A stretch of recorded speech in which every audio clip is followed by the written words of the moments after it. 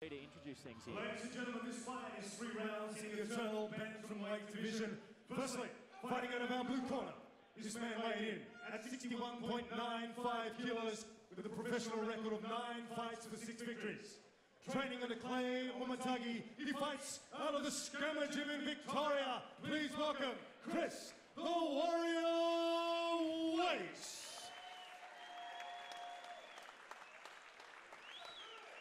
His opponent tonight fighting out of our red corner. He weighed in at 61.55 kilos. Two fights for one victory as a professional. Training under Ben Vickers, he fights out of Scrappy MMA, fighting out of Perth, Western Australia. Danial Mini T. Williams. So here we go, about to get underway. Fight number one of the evening in the bantamweight division. Now, the beautiful thing about Mini T, uh, he loves to scrap, loves to strike. The problem, though, he does seem to take too much damage to start the fight. Well, the referee clapping us in shortly. Here we go. Fight one, Eternal MMA at Oh, 48 underway. Straight into the lead hook there was Danial Williams. And Oh, he's looking loose. sticks a nice low kick to uh, lead hook combo again. So we can already see how quick the boys are on their feet. Looks like a bit of a size difference though. Chris Wase looking pretty thick in there in comparison to Mini T.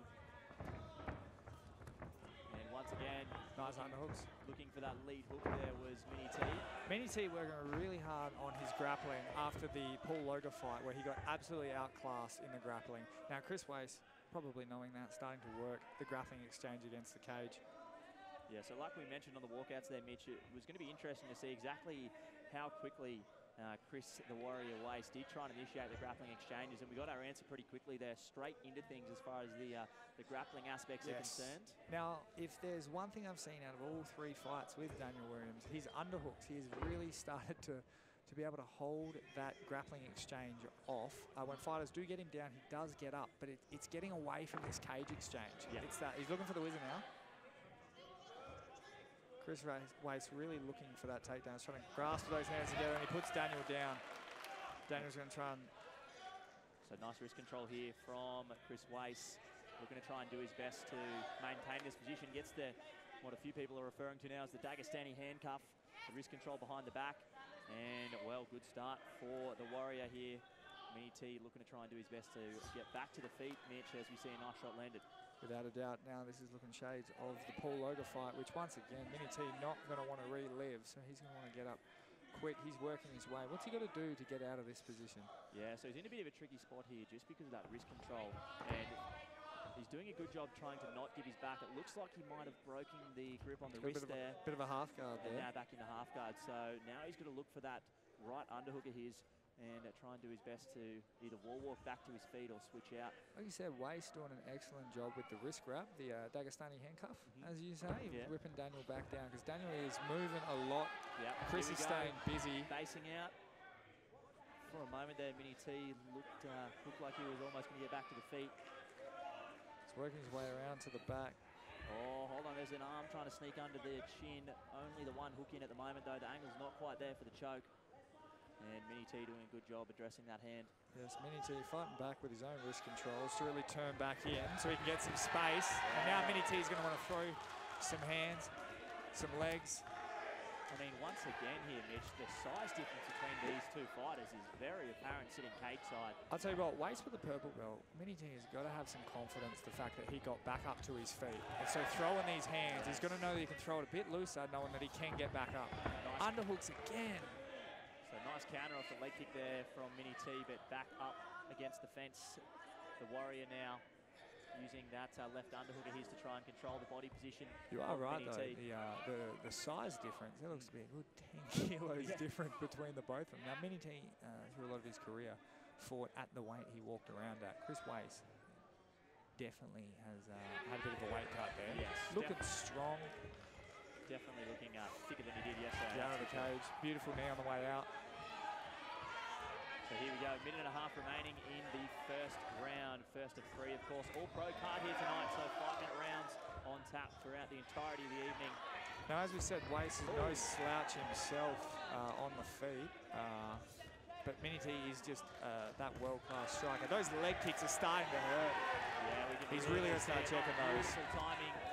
and he's back to the cage pressure.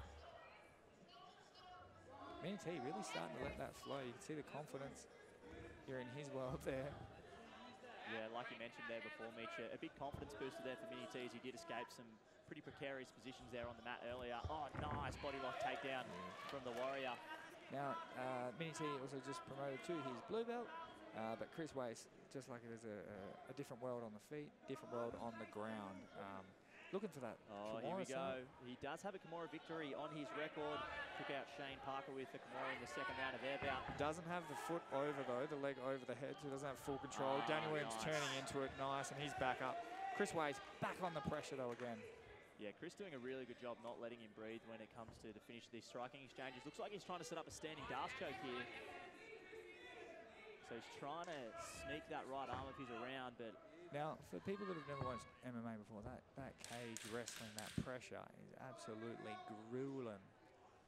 It doesn't look like much if you've never never been in the sport at all, but oh, Danial Williams. Yeah, he's got some nice head control in that end round one. and, Showing some excellent grappling. and we are ready to get things underway here for round two.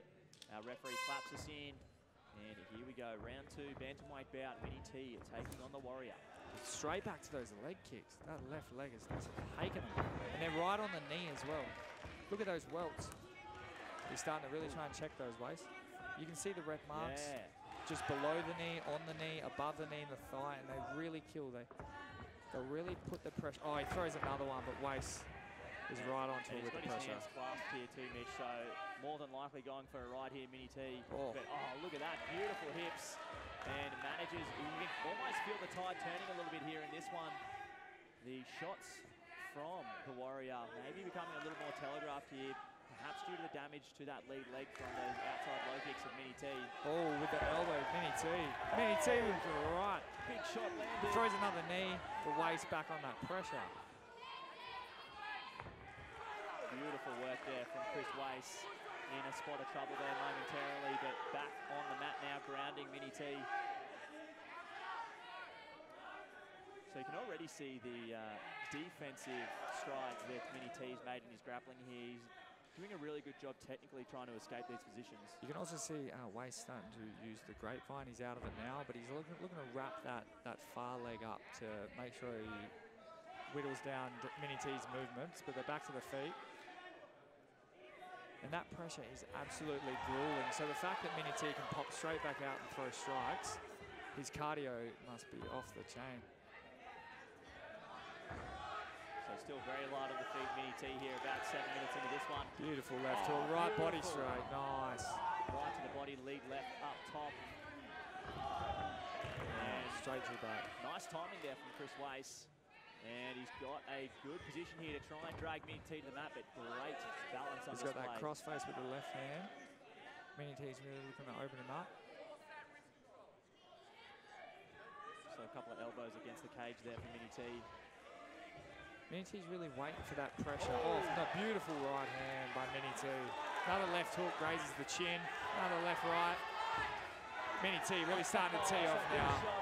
Shots. Mini T easily defending that single. leg Wase is shooting on those. Mini T absolutely emptying the gas tank right now.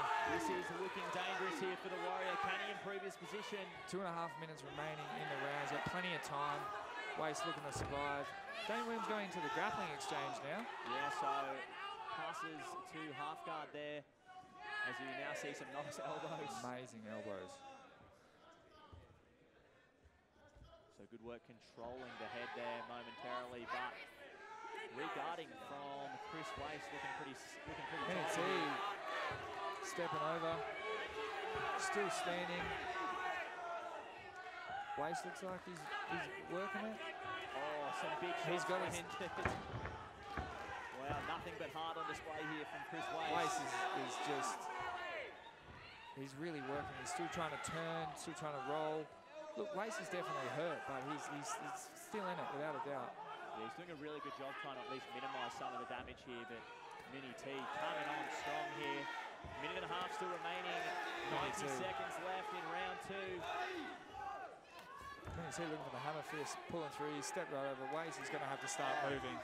Wase is doing some good kickoffs and the Oh. hands are up, but he's going to have to start moving. Got a feeling this kick. fight is going to get worse for Chris Wase. Oh, he's teeing off and that's all over. Ladies and gentlemen, your winner, Danial Mini T. Williams, takes out. Doesn't get much better than that, does it? We're going to throw to Well, ladies and gentlemen, having a big round of applause for these two fighters here tonight in Eternal. No need to go to the judges' scorecards for this one. The clock gets stopped at a time of 3 minutes and 43 seconds in round number two. Your winner by TKO, the red corner, Danial Williams. So there we have it. Mini T gets the TKO.